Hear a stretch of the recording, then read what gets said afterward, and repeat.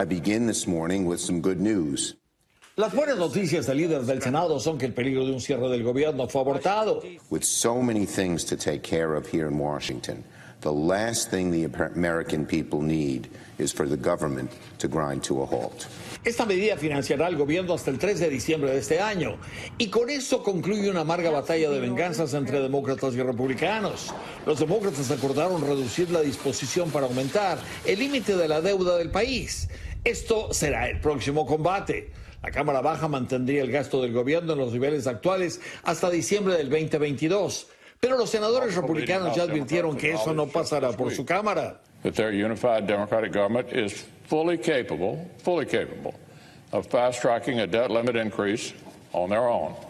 Pero los demócratas reclaman que aumentar el techo de la deuda es para pagar los enormes gastos dejados por Trump. Squarely at the feet of the Senate Republicans. Si los republicanos se niegan a aumentar el techo de la deuda y los demócratas no lo pueden aumentar solos, Estados Unidos incumplirá en sus obligaciones financieras a partir del 18 de octubre. Eso podría desarrollar una recesión. Anoche las dos cámaras hicieron una pausa en el juego político para jugar béisbol. Este es el juego anual del Congreso. El presidente Biden vino desde luego apostándoles a los dos equipos. Para su sorpresa, los republicanos ganaron.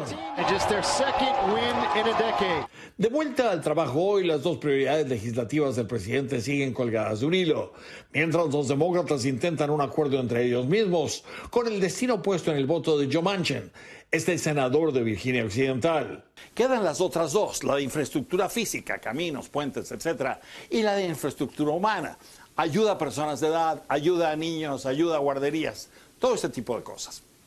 Eso es lo que está colgando todavía.